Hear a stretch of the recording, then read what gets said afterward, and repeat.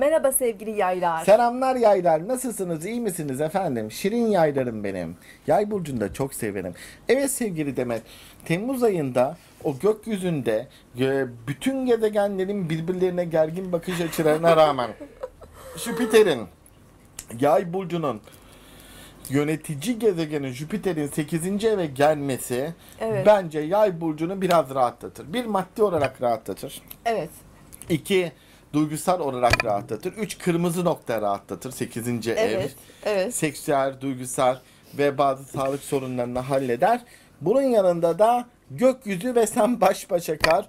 Valla saatlerden beri yani diğer burçları yorumlarken şiştim yani. Yani göbeğim möbeğim şişmeye başladı. Kilo mu aldım? Ne oldu yani? Strese mi girdim? Gökyüzünün durumu nedir? İstesen yapamazsın bunu. Bu ne hal kızım? 40 Savaş var gökyüzünde. Ha, 40 gün yani bir ilgilenmedim hadi e, bir böyle bir işim işim çıktı ne halt ettiniz bu gökyüzüne görmeyere. yani iyi halt ettiniz. Hadi buyurun çıkın bu işin içinden. Evet anlat bakayım ne halt olacak Evet. bu yaya. Temmuz ayı gerçekten e, zorlu ve sert bir ay. E, gezegen konumları oldukça iddialı diyelim. Çok iddialı. Çok iddialı. E, hafta ayın ilk haftası da sert başlıyoruz. e, sonunda da sert bitiriyoruz. Yani sert başlayıp sert biten bir ay. 1 Temmuz'da Venüs Satürn karesiyle başlıyoruz. E. Sağ ol. İçim Venüs kare, Güneş Plüton. Ya bir ayda bu biriktirirsen kadar olumsuz açı bir arada olur. habis bir ay. Değil Habis yani. Yani. Habis. Habis kanser tümörü gibi yani. Amanın. Ya ama iğren, e, ya iğrenç değil de gökyüzünün hiçbir dönemi iğrenç değildir. Ama tabii ki yani ben zaten ne dedim sizlere öğrencilere 17 Mart'tan sonra Ağustos'a sağ çıkana kutlayacağım dedim. Yani sağ çıkabilen arkadaşları Ağustos 1'de hep beraber öpüp alnından filan okşuyoruz. Gerçekten zor ya burada yay burcu ne yapsın? Sevgili yaylar siz üzerinize alınmayın. Gökyüzünün genel durumu böyle. Aslında yaylar o kadar da kötü değil. Yani bu gezegen açılarında yaylar çok da sert açı almıyorlar. Yani güneş karşı Plüton'da maddi olarak ne halt ediyorlar? Maddi olarak yani hayati bir tehlike E, tabii yani güneş karşı Plüton'da para yok. Pul yok. Maddi konularda biraz e, evet zorlanmalar var. E, güneş karşıt Plüton 4 Temmuz'da Güneş Uranüs karesi. E, orada da yine aynı Evet, şekilde evet, evet. bu sefer iş, kariyer, yakın çevre ile ilgili. Vallahi yakın çevre ve kariyerle ilgili sorun veriyor. Parayla ilgili sorun veriyor. Koç- Çocuklarla ilgili biraz da sıkıntım olur. evet çocuklar, tatil bununla ilgili küçük bazı sorunlar verebilir. Bazı yaylarda balıkta çok büyük gezegen döngüleri oldu ya. Evet. O balıktaki o gezegen döngüleri baba ve babanın sağlığıyla ilgili çok nadir 7. türevidir bu bunun. Evet. Her birinin bir türevi var. Buna benzeyen olaylara sebebiyet verir. Gel bir 8 Temmuz atlayalım. ha. Evet hemen ye- e, yılın ay- ayın e, yengeç burcu yeni ayı bu ay 16 derece yengeç burcunda olacak. E, sevgili yaylar yine maddi konularda bu yeni ayda Merkür retrosu da e, yengeçte Para ve yeni alamaz. ayla kavuştuğu için e, 8. evde bekledikleri bir e, Para parada gelmeyecek.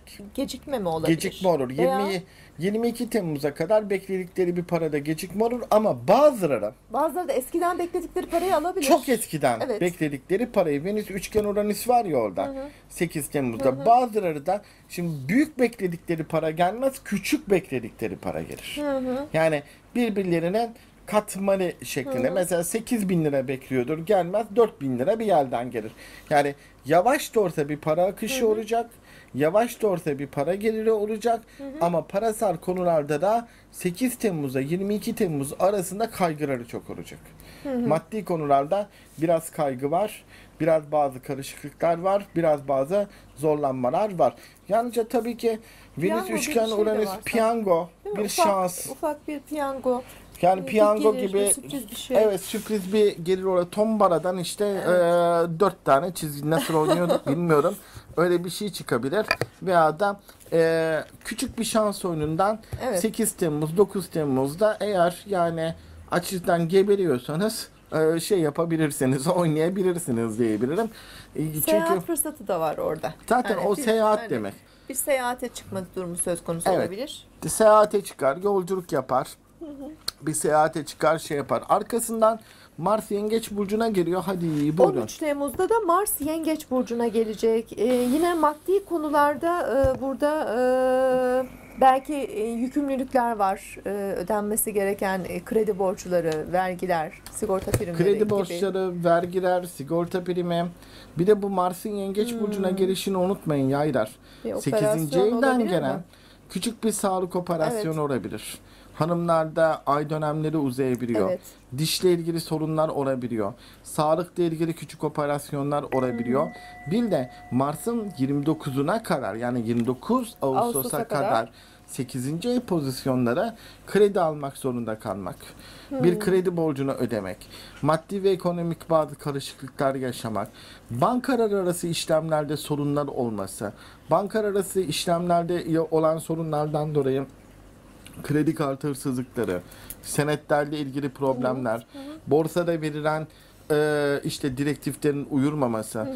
Bunlarla ilgili sorunlar. Yani bu ben Mars 8. ve yayda çok e, iyi biliyorum.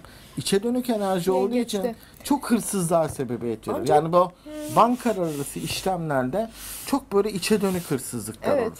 Yani ne diyeyim sana işte hatalar olur. Kredi kartları ile ilgili saçmalıklar olur. Bankacılar hatalar yapar. Gibi gibi olaylar. Para kaybedersin. Yani Ya başkalarının hatası. retro olduğu için belki Tabii. bu durumu arttırabilir. Ancak şöyle de bir durum var. O Satürn, Neptün, Jüpiter arasındaki üçgen konum e daha sonra ayın 20'sinde de Mars'ın da buna katılması e, Destekliyor. onu destekliyor. Belki de bu kavramlarla ilgili böyle güzel bir gelişme de olabilir bu Şimdi etkisiyle. Bu işte başta sorunlar oluyor, sıkıntılar oluyor. Bazı problemler mesela dişi şişiyor ameliyat oluyor.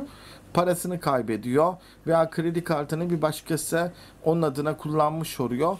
Ceza yiyor. Ama Evet. arkasından 17 Temmuz'dan itibaren Satürn, Neptün, Jüpiter büyük üçgeniyle beraber daha böyle idealist, sanatsal olguları ön plana çıkartan, vizyonu yükselten, maneviyatta artışa sebebiyet veren, ruhsal bütünlük, tanrısal yardım dediğimiz bir konuyla karşılaşıyoruz. Aileden ve gizli kaynaklardan yardım da gelebilir. Gizli kaynaklardan yerden. gelir, dinsel kaynaklardan gelir, tanrısal gelir.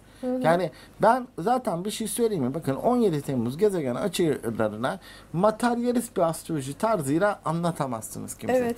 Tanrısal yardım Evet demek. o gerçekten bir koruma üçgeni. Tabii ben ya su benim- üçgeni, koruma üçgeni diyorum. Benim evrensel yaratıcı Evet. inancım tamdır. Yani Allah'a inancım tamdır. Ee, yani Allah bizim dinimizde söylediğimiz e, kelime ama e, yani bilimsel mantıkta da evrensel akıl diyoruz biz buna. Ee, logos evrende büyük zihin diyorum.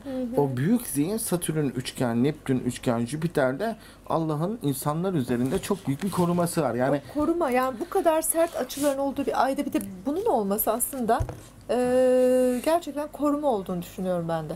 Vallahi bir şey söyleyeyim mi? Yani pek çok kişi yaşarsa zaten bu 17 Bu, Temmuz'daki evet, gezegen bu, döngüsünden evet. yaşayacak. Yani bu çünkü bu kadar gezegen açısı bir yerleri patlatır ablası. Yani Çok bir ülke çok yani tabii. Türkiye demeyelim hadi bunu. Dünya Bir, üzerinde önemli dünya üzerinde bir ülkede çok ciddi savaş çıkar. Bu ay önemli bir felaket yaşanır bence Önemli bir dünyanın felaket. yerinde. Evet, dünyanın üstünde çok büyük bir felaket olur. Ya bir tsunami olur, ya Evet. büyük deprem olur. Feci bir şey olur. Bu da 28 haftasına filan rastlar. Evet. Ama bu belki bu belki işte doğum haritasında hak edişi olan bu bir Evet. hak ediş açısı Satürn. Tabii. Yani Karma, insanlara bir iyilik yapmış. Güzellik yapmış. Sokaktaki bir kediye ne diyeyim sana bir kap su vermiş. Engelli bir insanın tekerlekli sandalyasını itmiş. Hep bana hep bana dememiş. İçsel komplekslerini, kavgacılığını yenmiş. Herkese müjdeler olsun. Tanrısal yardım var. Ama bunun dışında sokaktaki kediye tekmeyi atmış, sığ davranmış, içindeki ruhundaki insana değil de hayvanı mı ortaya çıkar o zaman? Bana ne abi? Bunlar zaten onun hakkına sonuna kadar bedelini ödetecektir. Yani bizler daha ziyade biliyorsun drakonik astrologlarız. Karma tabanlı. Yani bu gezegen döngüsünde adamın başına bir şey geliyorsa yapmıştır bir alt geçmişte. Onun için geliyordur. Ona da acıyacak değiliz yani. Ondan dolayı bu 20 e, 20 Temmuz çok ilginç bir 22 Temmuz. Kova burcu Kova burcu dolunayı. var. 0 derece kova burcu Seyahat. olacak. E, o dolunay sırasında gerçekten 3 gezegen e, 0 derecede. Şimdi 22 Venüs burç Temmuz değiştiriyor, iş Güneş burç değiştiriyor. iş getirebilir. Evet. Venüs Aslan'da çünkü iş iş getirebilir. İşle ilgili bir haber getirecek. İş, kariyer, para bunları göstermiş.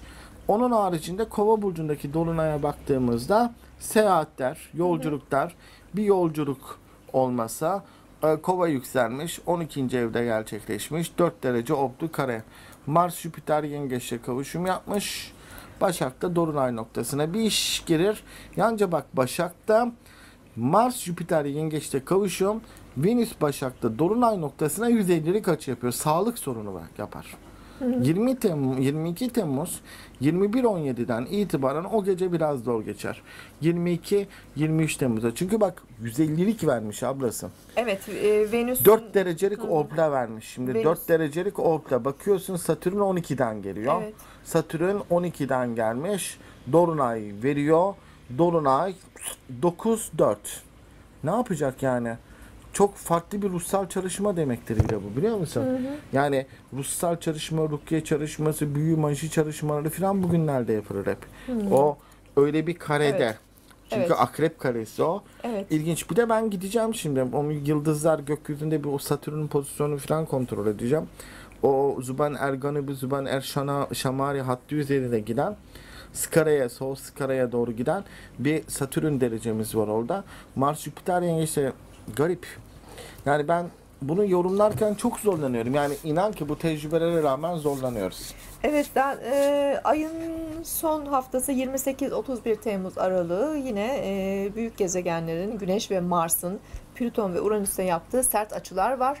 E, yine e, biraz zorlu, sıkıntılı, özellikle ülkemizi de etkileyebilecek e, gezegen döngüleri olduğu için genel olarak herkese etkileyebilecek Evet. zorlu durumlar oluşabilir. Temkinli olmak gerekiyor. Riskli ortamlarda bulunmamak gerekiyor. Yay şansını kullanan Evet, riske girmeyin. Evet. Sizi seviyoruz. Bye. hoşçakalın.